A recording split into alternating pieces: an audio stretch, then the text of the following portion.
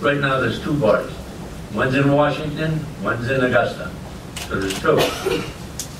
But they're trying to look at now, don't you agree that if the governor stopped vetoing these things, they wouldn't have to worry about having these things done in the cities and towns?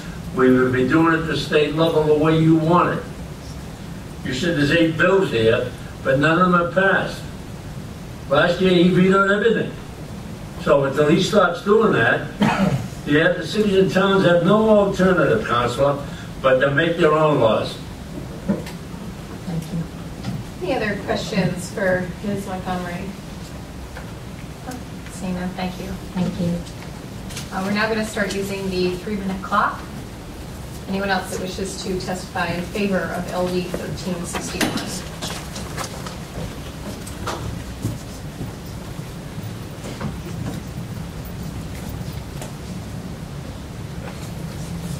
Will the dar- will the department be subject to the three-minute clock?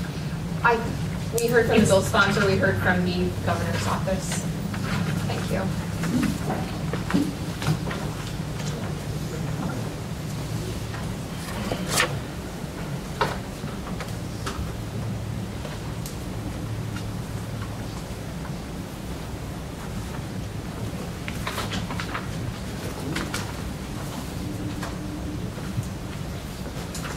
Volk and Representative Herbig and members of the Joint Standing Committee on Labor, Commerce, Research, and Economic Development. My name is Julie Rabinowitz, and I'm the Director of Communication and Operations for the Maine Department of Labor. And I'm here to testify in support of LD 1361, an act to promote minimum wage consistency.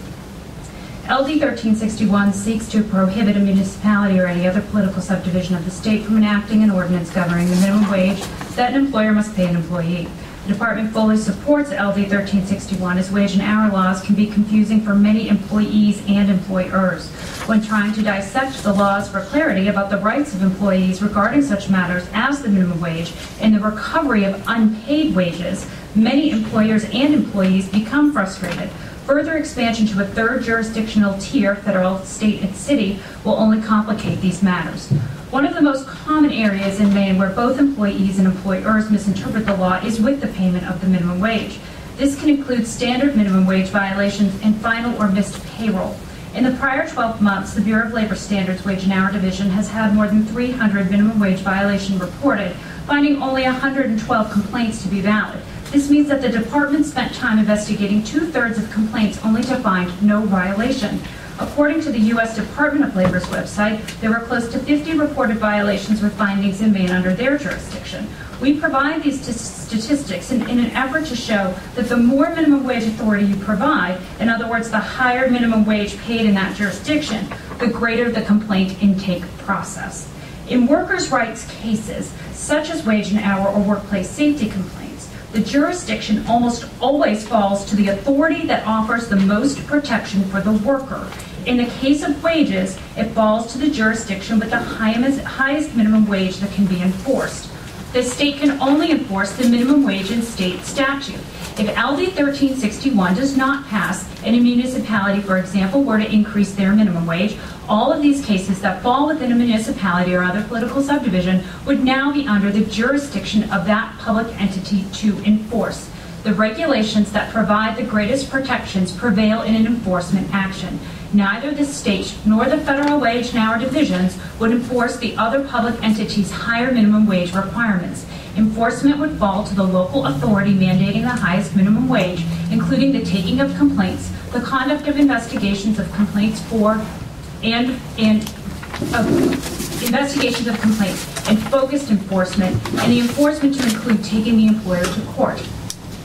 Employees who work in the local areas who contact the state to file a complaint about their employer would be referred by the state to the local enforcement agency. The department would also like to mention that employers will still be liable for all record keeping and poster requirements under federal, state, and municipalities or other political subdivisions. This would now mean three sets of minimum wage posters to be posted and updated accordingly. In addition, employers must ensure that their record keeping meets the highest standards between the three enforcement entities. Employers would also have the responsibility to ensure that the highest wage is paid based on the location of the work performed. For example, An employee who works within a city for one day, but outside the city on other days, employers would be required to break down the rates of pay per jurisdictional requirements. Again, the rate of pay is determined based on where the work is performed, not where the employee's home base is or the location of the employer's headquarters. If a company's headquarters are in the town with a higher minimum wage, those workers would be subject to the local minimum, but workers for the same company who work in the next town over or who work on the other side of the state would be subject to the state minimum wage for the performance of this same work. This- Mr. Yes. You just, that we hit the three-minute clock. a Okay. while ago. So, Uh, thank you. There are several other issues that the testimony addresses in terms of jurisdictional responsibilities and enforcement complications. Okay, Thank you Thanks. very much. Any questions from the committee? Yes, Representative Fecteau. Thank you, Madam Chair. I'm dealing with questions today. Uh, How did the Department of Labor testify on the minimum wage bills that we heard before the committee a few weeks ago? We were opposed to raising the minimum wage bills. Thank you. Mayor, oh, Could you just uh, keep it down in here? That would be appreciated. Thank you. Want to respect everyone. Um, Yes, Representative Gilbert, then Representative Stetkis. Okay, so you, Mr. Benowitz, you mentioned that there were 300 minimum wage violations were reported, Complaints that we investigated. and then uh, the municipality, the one who provides the highest minimum wage would be the one responsible for dealing with those? Conducting the investigation, yes. So that could reduce the number of investigations that the state would have. If you have two or three of our largest towns with a higher minimum wage, they would be the ones responsible for taking care of it. They would be responsible, but there's also, would be confusion for the worker because they may call the state and then we would have to tell them they have to call the municipality. There also may be confusion because this would only be in uh, minimum wage, overtime, and final pay violations or investigations, not in things like leave, child labor, uh, and some of the other things that are under the wage and hour investigation. So what we would find is that, and this is part of what my uh, testimony addressed, would be that workers might be confused and call the municipality and then have to be referred for their leave questions or their child labor questions to the state. But if they call the state about their local minimum wage issues, then they have to be referred to the municipality. So there will be, So- So if I worked in confusion. a town that I had a higher minimum wage and I had a complaint and I called the Department of Labor about it. Yes. And they would say, where did you work? And I'd say, in the town with the higher minimum wage. How long does it take for the state to say, you need to call the town that you worked in? That's not. right, yes, no, exactly. I think, I, I. Doesn't take very long. No, it doesn't, but the worker might be uh, annoyed that they have to make another phone call. Oh, Representative Stetkis? Thank you, Madam Chair. Um, What you were saying earlier, if a, uh, if a company is based in the municipality that, that, uh, that has a higher mandated wage, but they have satellite offices, or maybe say it's a telecom business or, or a medical business where you have people that are on the road, if they're not working within that higher mandated wage municipality, Right. they would actually get paid differently than the Yeah, other so person let's within that the- company that's working within that municipality? Exactly. So let's take the example of a home health care agency where their headquarters are in Bangor, but um, the worker works exclusively in, say, Hancock or Washington County. Those workers who work uh, visiting uh, and caring for patients in Hancock and Washington would be paid at the state minimum wage, while the workers in the headquarters uh, in Bangor would be paid whatever the municipal wage would be in Bangor. Representative Ward? Thank you, Madam Chair. Um, We, we've heard a whole host of uh, wage mandate bills coming before this committee this, uh, this session. I know that one of them had to do with tipped employees. Yes. Do you see that tipped employees might be affected by this situation a little differently? Right, and this is an example where the, the different jurisdictions uh, between, overlap between federal law and state law. So right now, the tip credit is $3.75. It's half the minimum wage. That's a statewide tip credit. The federal tip credit is actually uh, $2.93, I think. And so um, the federal tip credit is the difference um, that the, the employer has, would have to make up the difference between the federal tip credit under federal law and the federal minimum wage, which is $5.12. The state tip credit cannot exceed the federal tip credit. So, so right now ours is 375, it's half of the minimum wage. If a municipality were to raise their minimum wage to excess of 375, or excuse me, to, to make the difference greater than $5.12. So say raising the minimum wage over $10, um, the employer, the state would have to raise that tip credit. The tip credit cannot exceed $5.12. I know this is, it's, it's complicated to explain, but, but basically, we would have to adjust whatever the, the municipality would have to have language in their statute that addresses the tip credit to ensure that they are not in turn violating um, the federal tip credit requirement.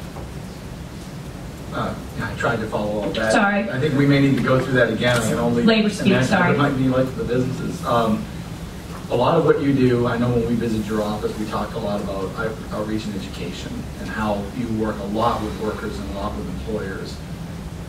Is that going to impact the amount of effort you're going to have to, uh, to put towards that? Right, so for example, we have information about the minimum wage on our website. We would have to put links to the different municipalities and hope that they have additional further information on their websites.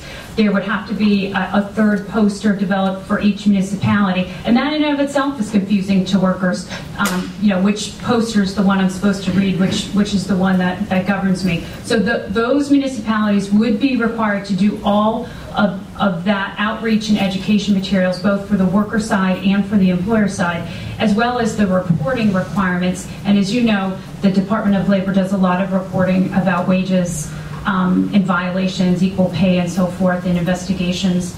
Um, we would not be tracking that data any longer, so our reporting to you on the statewide level would be incomplete unless there were uh, some requirement to make those municipalities either keep those records as well or report that data to the department. So all those kinds of things would need to be addressed. Uh, Representative Campbell, then Representative Gilbert, then Senator Volk. Thank you, Madam Chair. Don't you think that the federal government and the state of Maine can make laws that will say Mayor Brennan can't run his city down in Portland without worrying about the help from uh, the state? That he's a big enough boy to serve with him when he's a state senator. So don't you think that he's capable, if he get elected mayor, of running the city of Portland, as well as uh, chief executive is running the state of Maine? Well, as, as also outlined in, in, later in my testimony that I didn't get to address, the, the municipalities have a lot of codes that they're already struggling to enforce. Healthcare, uh, health codes, restaurant inspections, fire codes, safety codes. This would require another level of enforcement. And the issue with this code is that, uh, or, or this level of, of ordinance, is it affects people's paychecks. If you're waiting for your final paycheck, this, the city cannot delay in that investigation. So it requires a level of investment of every municipality to make sure that the law is enforced. And that's what we're concerned about. We are a small state. We have, our, even our biggest cities are, are considered small on a national scale. And that's a level of additional burden and regulation. The taxpayers of Maine are already paying for this service statewide, and this would be a duplicative service at the municipal level to have the municipal workers take that on. Uh, wage and hour inspectors run fully burdened about $80,000 a position, and they would need to have enough to do that work and to cover for vacations and sick time and those other kinds of things. It's, it's a significant investment for the municipality. Representative Gilbert. Thank you, Madam Chair. You mentioned uh, two or three times about a confusion in posters as to what the minimum wage was. We have a federal minimum wage now, and we have a state minimum wage. does the department get very many questions as to, or concerns that they're confused what, as to what the minimum wage is? There's a lot of confusion about wages, and in particular as relates to overtime and exemptions from overtime, and that is part of the minimum wage. Seven twenty-five to seven fifty? Yes. We have people violating the minimum wage right now, which means that there's confusion about what they're supposed to be paying their workers. They're not paying it right. Uh, we- we know. People are violating the law. I don't necessarily agree. The other, the other thing is, this, this is not a bill to promote minimum wage consistency. I look at, because there's no law now, I look at it as a law to prevent a municipal uh, government from establishing their own minimum wage. I'm wondering how the state would feel if the feds came in and said, well, you know, the New England region has all these different, each state has their own minimum wage. What would you feel if the state, if the feds came in and said, well, we're gonna put everybody on the federal minimum wage like New Hampshire for New England? That would affect five other states just for consistency. But it would be a violation of the 10th Amendment. Well. So we have a constitutional issue. I mean, this is legal. we- It's constitutional. This, this might be, there may be a difference here, but it's still taking a right away from municipalities that they now have. That's how I feel. And we do have some cases where uh, US DOL preempts the state law in terms of wage and hour enforcement, and we defer to them. And they have jurisdiction. Thank you. Senator Volk, then Representative Stetkis, then Representative Ward. Representative Stetkis, then Representative Ward. Thank you, Madam Chair. So, just trying, just trying to picture this on the municipal level. uh, The municipality would have to basically develop their own labor department, it sounds like. Okay. And from what we're talking about, they're going to have to pay for it. Yes. Okay, so, so taxpayers from around the state will not pay for it, that municipality. Is there some other mechanism other than raising the property taxes in that municipality to be able to pay for that? Not to my knowledge. It would have to come out of the city or town budget. Thank you. Uh, Representative Ward. Thank you, Madam Chair. Uh, We are the Labor Committee, so anytime anybody has an idea about how to change how we handle labor in the state, it comes before us. And we've had bills uh, having to do with uh, family medical leave, uh, child labor, prevailing wages, uh, vacation pay, break pay, things like that. Now, let's say uh, different, let's say Portland comes up with their own minimum wage. How- You know, if we have those issues coming up and those, those workers have, have a complaint, have, do they also go to the new municipal labor department now, or who's gonna handle all that stuff? No, and that's part of the confusion. So they would still be calling the State Department of Labor, but I think that often what happens is that the person who's mandating your overtime final paychecks and your minimum wage, you would naturally think to call them about your other wage and hour issues. So those would be the people who would then be referred to call the state. So we'd have people call calling the city and we'd tell them call the state, and we'd have people call calling the state and we'd tell them call the city. Well, I'm confused, but thank you. Councilor Volk. Um, I would think that it's possible people would even be confused by the fact that they live in one municipality and work in another municipality. Correct. municipality. So that might even cause confusion. Correct, and we see that right now with the um, uh, ordinances legalizing marijuana in particular jurisdictions, that um, it- it's legal while you're in there, but when you leave there and you go to work the next day, you know, there- there's confusion about where the line is, um, and if you work uh, the next town over, but you live in, say, Portland, but you work in Westbrook or Scarborough, um, you would not be subject to Portland's minimum wage. Any other, Representative Campbell. You just mentioned marijuana. marijuana, you just mentioned marijuana. I did, I did. Marijuana is illegal. It is illegal. And they, they- they say it's illegal in, in uh, Portland, but talk to the police, it's a different story. The bottom line, the federal government said it's illegal, and it's illegal in this whole country. And that's an example where federal law has preempted local law. Seeing no further questions from Ms. Benowitz, thank you very much. Thank you. Anyone else that wishes to testify in favor of LD 1361? Just so that, so the committee's aware, how many people do we have testifying in favor?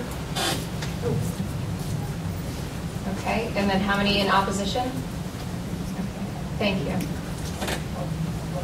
And just uh, so oppo- opponents are aware, we will be giving an unlimited amount of time to one representative and then using the three-minute clock, just as we did for the proponents. Welcome. Senator Volk, Representative Herbig, and distinguished members of the Labor, Commerce, Research, and Economic Development Committee. My name is Greg Dugal, and I'm here today representing the Maine Restaurant Association, the Maine Innkeepers Association, in support of LD 1361. As somebody who has spent a fair amount of time in towns and cities around the state in relation to multiple issues, including minimum wage, I can assure you that this approach to governing is not sustainable. We can, cannot continue to have a separate set of standards in every community, potentially in conflict with state law. I understand the concern and angst associated with no minimum wage increase over an extended period of time, which has led individual communities taking their own initiative. We truly believe that minimum wage increases should be reviewed and incorporated at the federal and state level. There are many issues with the local approach for businesses, including what you've heard, continuity from community to community that operate in multiple jurisdictions, enforcement by individual towns without the appropriate resources, which could lead to unnecessary prosecutions and additional reporting requirements set forth by these new ordinances. Maine small businesses are now put in a position of having to adhere to three sets of rules in three jurisdictions when administering their labor policies. The other issue that seems to be manifesting itself, and certainly the most important one for me, are citizen initiatives proposing extreme minimum wages. This bill, if passed, would not allow for these types of actions to occur in communities that are ill-equipped to handle the enormity of a minimum wage referendum and potential ordinance, or the devastation heaped upon their local businesses by the extreme wage. One person with an idea and 1,500 signatures can destroy many small businesses and eliminate many more jobs looking for an unsustainable wage of $15 per hour. In the case of Portland, once the ordinance is passed, it cannot be touched for five years. Our hope is the committee will agree that it is your role to set wage policy in the state of Maine and not allow for a hodgepodge of local ordinances. Uh, Because the state has no preemption statute, we could be facing the specter of the highest minimum wage in the country in the city of Portland, with a proposed $15 minimum wage. This is an uns- unsustainable wage that will make Portland an outlier, potentially suspend any business development, and definitely will mean a reduction in jobs. Why should one of the smallest cities in the country have the highest minimum wage? I guess the answer is because they can. The Seattle metro area at a whopping $15 per hour has a population of 3.6 million people, with 640,000 of them living in Seattle proper. That is 10 times the size of Portland, half the population of the whole state of Maine. The CBO estimates job losses with a $10 minimum wage that the president has proposed to be 500,000 nationwide. What will be the effect on Portland or other Maine cities? And I'd also like to, at the end of my testimony, I kind of refer to this, and I'll do it as quickly as I can, because I don't want to hold anybody up. But in a union environment, there are a series of negotiations between business and labor, culminating with an agreement that the union members vote on. It is not possible for one person to get 50 signatures to support an extremely high wage and then have the workforce vote on it. Union leaders know that all businesses have constraints and can only afford so much. But in the referendum process, there is no such vetting. So there are a lot more things to this than just people not being able to, you know, balance what it is that they need to do next or the information that goes with it.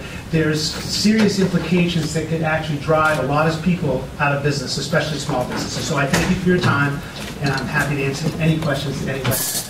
Thank you, Mr. Dugal. Uh, Representative Fecteau. Thank you, Madam Chair.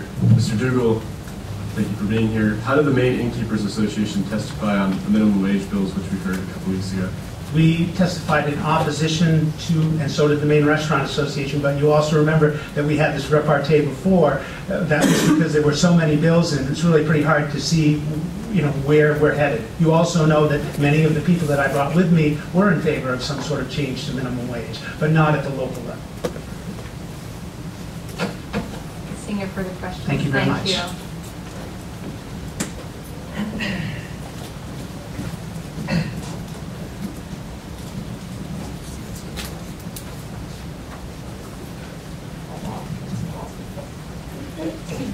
Senator Volk, Representative Herbig. I'm Chris O'Neill. I'm here representing uh, the Portland Community Chamber of Commerce, one of the oldest running trade organizations in America, uh, with about 700 member employers and about 35,000 employees who work in the city of Portland.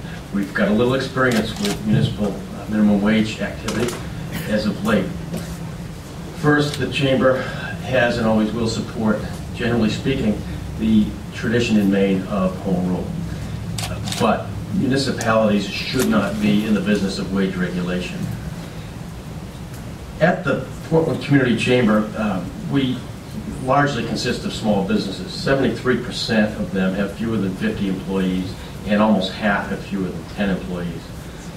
The chamber is all about prosperity, but we're not all about big business. Small businesses tend to be much more fearful of their flexibility uh, constraints that might happen in uh, a situation where one municipality played against another on wages.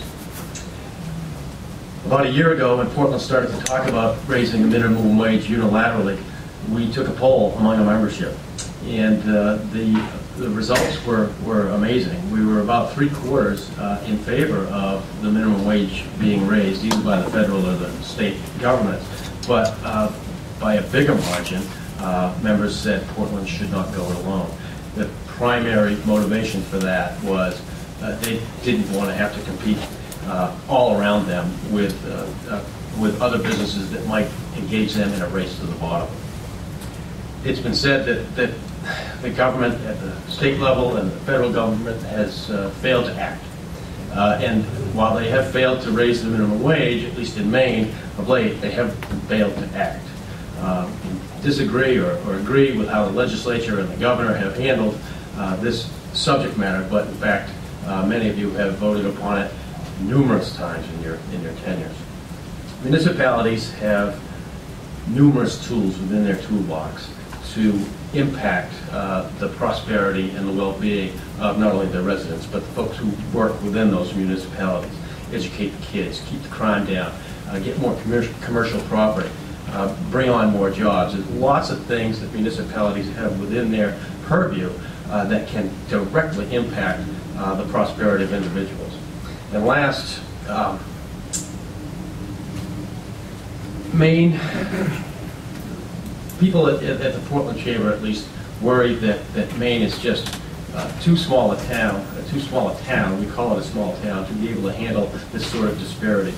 As Mr. Dugal said, uh, that mostly these are, have been very large cities. 80,000 municipalities and, and counties exist in America. About 12 have enacted uh, minimum wages unilaterally and most of them have been very large uh, municipalities or, or, or, counties. So we caution against a bifurcated approach to this sort of thing. Be happy to answer questions if anybody has them. Thank you. Uh, any questions? Yes, Representative Fecteau, then Representative Campbell. Thank you, Madam Chair. Uh, thank you for being here. Uh, those representing the business community spoke largely in opposition to the minimum wage increases, uh, the pieces of legislation before our committee a few weeks ago.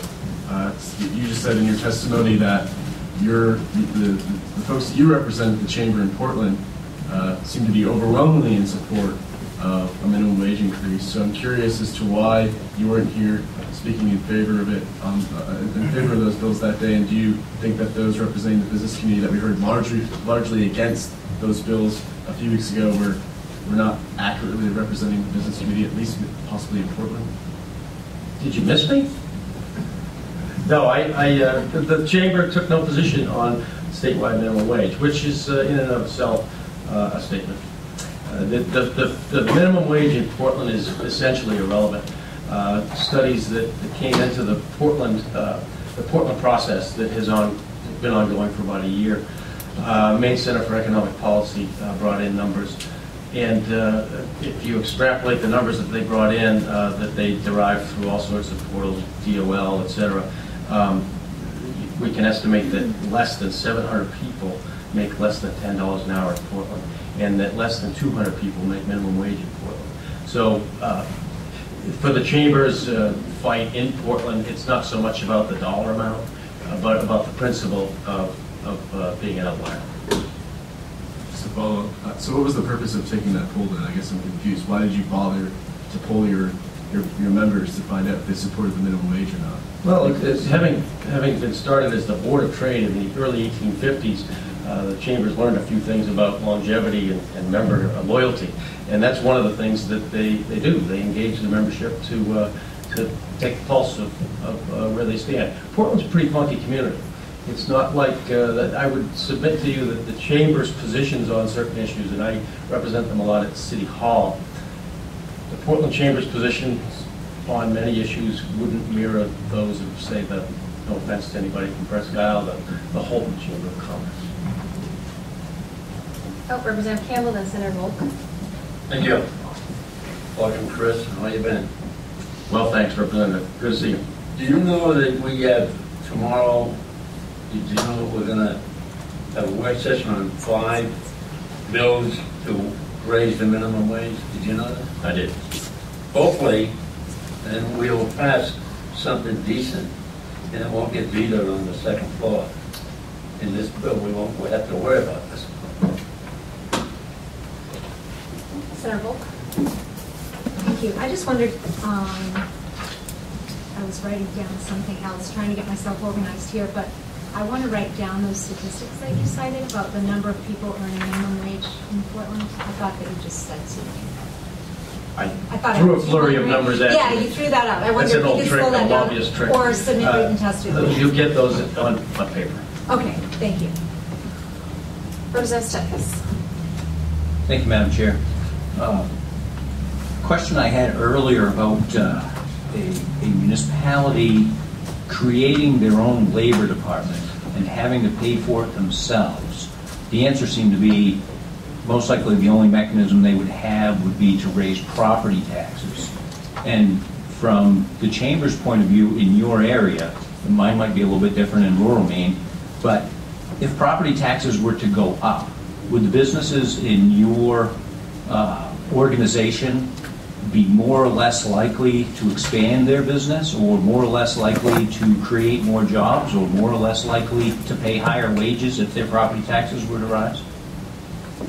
Representative, I don't think we need to take a poll of our membership to get the answer to that, but you bring, bring up a good point, and that is that, that uh, one of the issues that we have found in Portland, and it might also happen in, in uh, less robust communities, I mean, Portland's got a 300 plus million dollar a year budget. It's one of the biggest enterprises in Maine.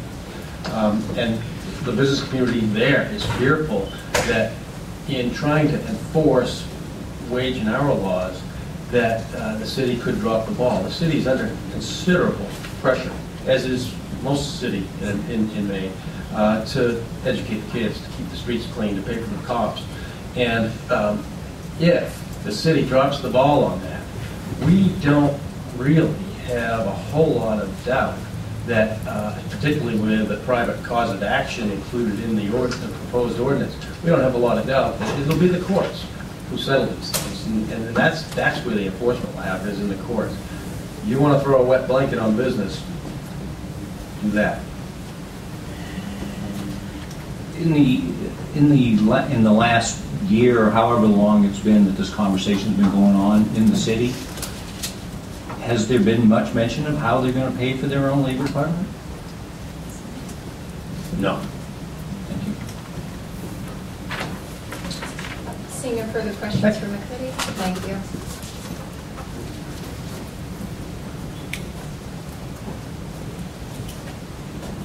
Hello again. Hello.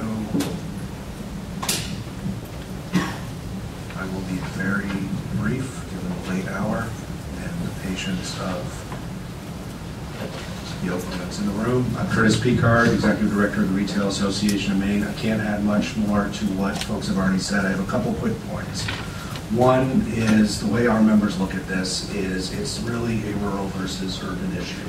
The communities that are able to have these types of ordinances look to increase the minimum wage, and it's at the cost to the rural communities, opinion. The second point I'd like to make is, you know, yesterday you heard from Aaron Collins from Havens Candies. Havens is based in Westbrook, they have locations in Scarborough and Portland. And they've told us that they're concerned about Portland enacting their own minimum wage. Not because they pay minimum wage, they don't, but they don't pay the 1068 or $15 an hour that's being proposed there. And they have employees that work at multiple locations. And so, going back to what Mrs. Rabinowitz said, it's the confusion of how you actually manage those wages, being a small Maine-based company.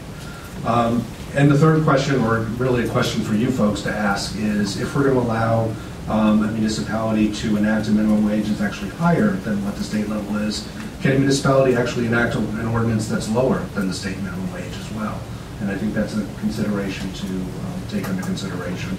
Um, And I guess I'll anticipate your question, Representative Fecteau. Um, We did oppose the bills, um, the eight different bills, primarily on the basis that many of them had indexing, which is one of the things that we've always opposed, and which is why we appreciate having this conversation. We believe this is the conversation you should be having at the state level. So I'll stop there, and I'm happy to answer any questions you may have. Representative Gilbert. Thank you, Madam Chair. I think that in answer to the question is can a municipality lower their minimum wage? The minimum wage is set by law, and there is a law that governs that. Uh, We're not look, we're not looking to, uh, we're not looking to enforce the law. here. We're looking at creating a law preventing municipalities from doing something. Right, my- There's my- no law that governs it right My point was, if you didn't pass this law, could a municipality choose in Maine to have only the federal minimum wage and not the state minimum now. I wage? think, I think that, that, that would go against what federal, what state law is right now. Um, But I do have a question, and uh, you mentioned that this would, I think you said it would help, uh, no, you didn't use